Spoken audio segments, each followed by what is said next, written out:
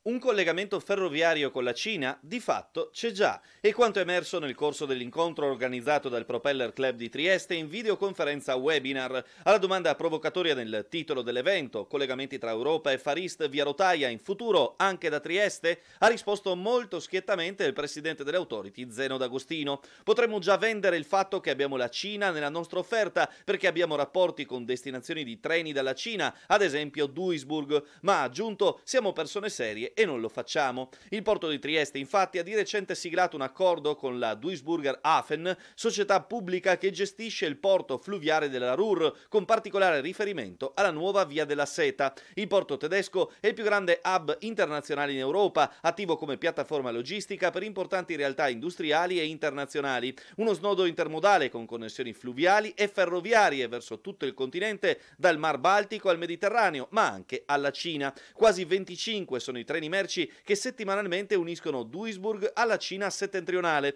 Dunque il porto di Trieste è già parte di un sistema che può portare le merci via rotaia verso oriente fino ai centri direzionali cinesi e questo tipo di sistema presumibilmente andrà a crescere con un conseguente aumento di traffici anche in banchina. Nel corso dell'incontro è intervenuto anche Federico Pittaluga, amministratore delegato di Medlog Italia, spiegando cosa MSC sta già facendo lungo il collegamento tra Europa e Far East. In particolare un servizio misto tra Vladivostok e San Pietroburgo che sta già dando importanti risultati a livello di tempi di percorrenza e stabilità di tempistiche.